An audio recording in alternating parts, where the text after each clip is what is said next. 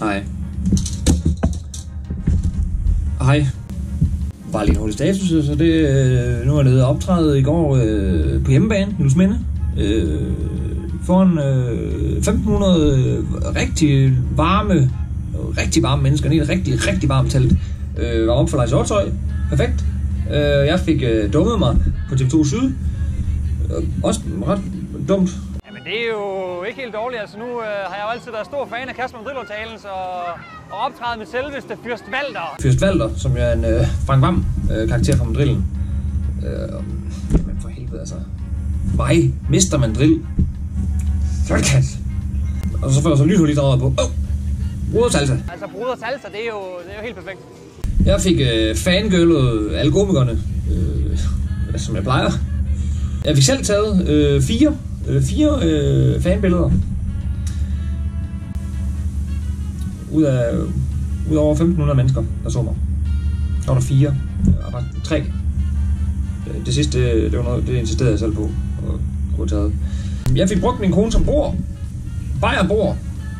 Jeg fik råbt øh, fondue-diller øh, til øh, også til 1500 mennesker. Det er egentlig meget tilfreds med, synes jeg. Fondue-diller! Og så fik jeg så delt øh, mysli merch ud.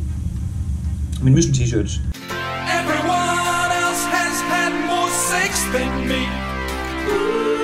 Jeg fik også, jeg, jeg prøvede også, jamen det var simpelthen, jeg, jeg, jeg prøvede at kaste den ud til publikum, men, men jeg skulle ikke have pakket den ud af pakken, hvis jeg, hvis jeg havde haft den i plastik, så ville jeg stadig bruge den som frisbee, men, men øh, jeg havde pakket den ud, så pakket den sammen, og så sagde så skulle jeg lige, du ved, skal jeg sagde tyren helt ned i bunden, og så er det bare, så faldt det ud som faldskærm, og så landede den faktisk nærmest lige ned i bunden, og så stod jeg der med sådan en vatarm, der ikke kunne kaste længere ned i en række. Altså, og, og jeg ville faktisk, altså jeg har ikke nogen t-shirts selv tilbage jo, for jeg ville faktisk have brugt en til, til en konkurrence i Mystikøen. Øh, men altså, de, de er simpelthen blevet øh, revet væk. Også den, jeg havde på. Så jeg har ikke flere t-shirts. Så jeg ved ikke, altså, I må starte en, en donation. Jeg må sende en hat rundt. Jeg har ikke nogen hat.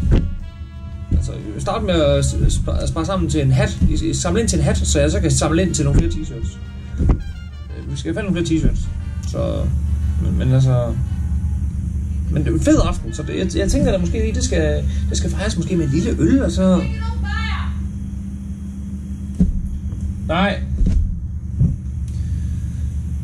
Øhm, øh, husk at drikke vand her i varmen. Det er vigtigt. Så. Hej.